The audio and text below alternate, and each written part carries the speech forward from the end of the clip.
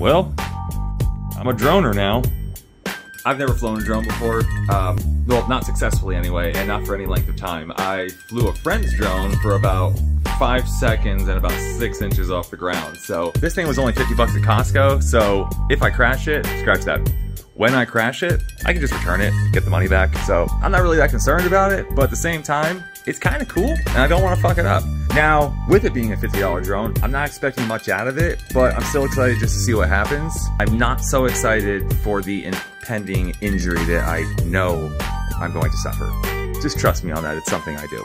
Either way, I'll let you know how it goes, and I'll let you know how long I was able to fly till it crashed. Be sure to put your bets in now. Mine's at three minutes.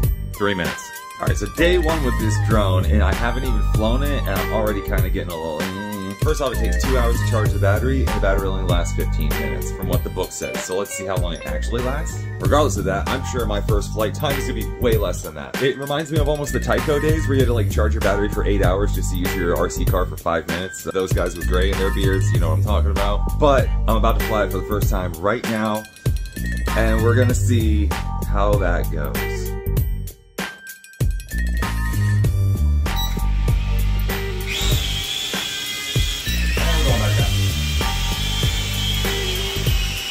Okay, so that's not horrible.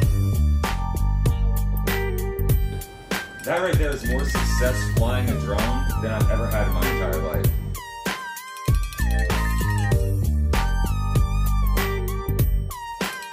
Okay, so it's not, it's not horrible. It's just not